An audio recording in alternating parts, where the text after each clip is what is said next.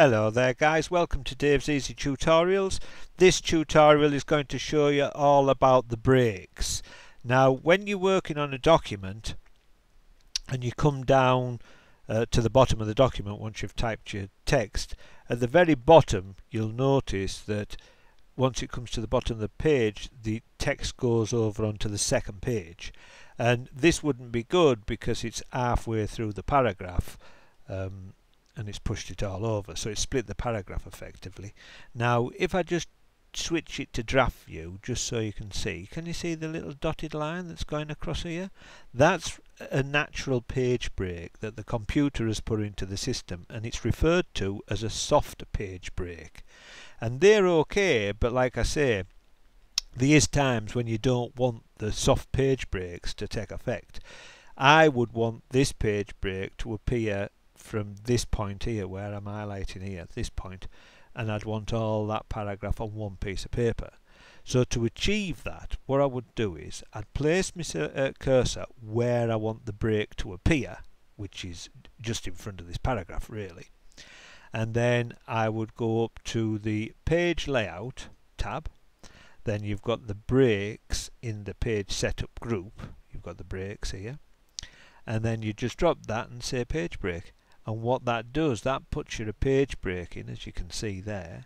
And now that is on the second page. So this now is on the second page of your document. Now just nip back to print print layout view and there you go. Look you can see the page break and the page break is there. That is as easy as it is to put a page break in. If you want to do it by keyboard all you would do is you would place cursor where you want the break to be, you hold control and press the return or enter key and that puts it in. So control enter is the quick key for it. And that is how you put a page break in to the document. To delete a page break, you just place your cursor either in front or at the back, doesn't matter which way, and just use the delete key and get rid of it. And then that just re gets re um, does your document and gets rid of the page break that you don't want. The other breaks that we've got within uh, Word is we've got what we call a line break. Now a line break is, they call it text wrapping. And a line break basically is when you want to force the line to end at a certain point. Now, when you're typing in Word again, you'll type the word across here and it gets to here and it automatically wraps round to the second line. That's what is referred to as a soft line break where or text wrap. The other one is what you're going to put in is a hard one. Now to put one of them in you just place your cursor where you want it to be. You go again to the page layout tab, the page setup group, breaks and you just pick there where it says text wrapping. Now what that does, that puts your line break in and you can see it there. If you wanted to do that manually, you would just place your cursor where you want it and you do shift enter and that does it also. So you can always do it by keyboard or you can do it by uh, the page layout, page setup, breaks now, a lot of people would say to me at this point, well, why would I want to put a line break in? You know, it might be that you want to put a picture here or a, a logo or something like that. You know, that's mainly when it wants to be done. But that's what you call text wrapping. It's a line break, basically. Then you've got what we refer to as section breaks. Now, the column break I'll show you in a second. But these section breaks are where you want to break your document down into different sections. Now you've got a next next page section break. That is when you want to change the layout of the the paper or something like that. Just watch this for a second and I'll show you what one is. If I do uh, control N for a new document and it's document 1 now imagine that I've got this document on screen there I'm typing away and I get to the very bottom of the document imagine. And then I go to page setup and I bring the little dialog box up. Now I say I want to be landscape not I don't want to apply it to the whole document I just want to go from this point forward. So from this point forward where the cursor is from this point forward I want it on landscape and I say OK notice that that is your page 2 and it's landscape. Now imagine again that you've gone through that and, and you've gone right through it. We'll bring that back up again and say well we want portrait. Now notice this time we've got this section as well but we'll say from this point forward I want it back to portrait. So I say OK there. Now notice now I'll just zoom this down a little bit just so you can see it and that will be page 3 portrait. Right now watch this. What you do now there's the first page which is landscape uh, portrait sorry that's portrait. It comes down then you've got the landscape page and then you've got the portrait back to portrait. So it's a fantastic way of sectioning your document in for different layouts. Brilliant. This this page here you could have a massive big table or a big graphic.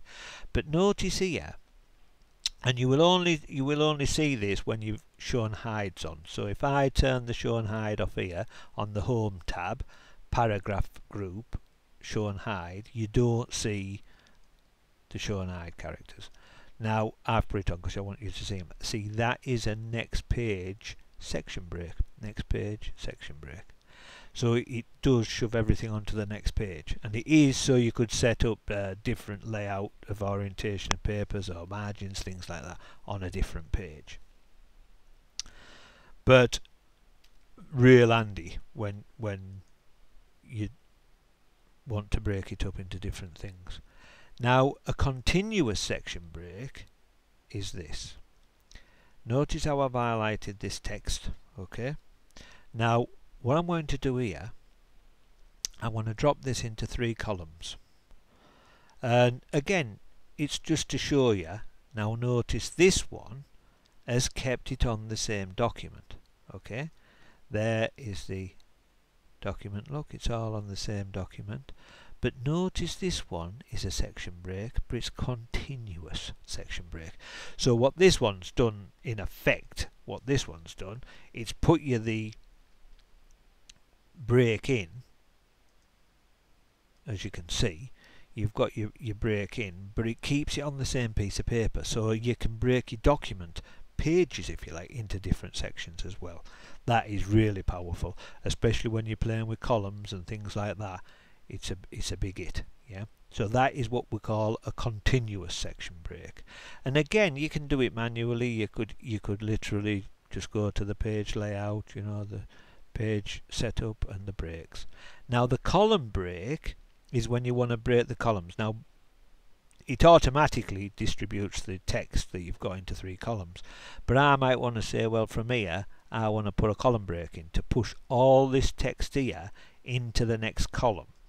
But at the moment, the computer's taking care of all the breaks. But the minute I jump in, I'm going to have to take over. Now, watch this. If I put my cursor there and I go to break, column, notice it shoves everything else over into the next column and now I have to deal with it or everything manually so if I say right I'll go from there and we'll put another column break in now this time I'm going to do it by keyboard and it's control shift enter and that does it and notice there I haven't got it even so you would just literally play about with it till you get it where you want it that's it number two um, and I think they should do it. Oh, wrong way. Um, but it, it's just literally what I'm doing here. I'm just literally uh, been near enough. And then what I could do here, I could actually put a picture in there or whatever I want.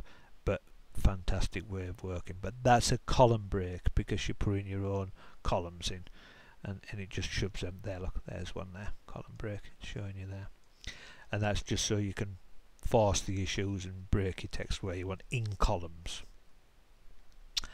The breaks or the section breaks there are even page and odd page that's when you've got your document set up in mirror margins and you've got the odd pages and the even pages. And all it does is it puts a section break on every even page so it would be 2 4 6 8 and then on the other one on the odd pages it would put a section in 1 3 5 7 so it's straightforward stuff but they're all section breaks. But they are all your breaks that you want to work with in, within the document and there is times when you do need them especially the page break. So the page break as you're typing away if you want to do it as you're typing you're typing away and you get to the end it's control enter and that just puts you another page in. Um, that's it on the breaks. Thank you very much for your time. Thanks for watching. I hope you've enjoyed the video. Don't forget to check my other videos out and go and have a little look at my channel. If you subscribe with our channel we do do requests. We take requests from you. So if you want to know how to do a mail merge or tables or anything like that just nip over to our channel um, subscribe with us drop us an email and we'll do you a video just as soon as we can. Thank you. Bye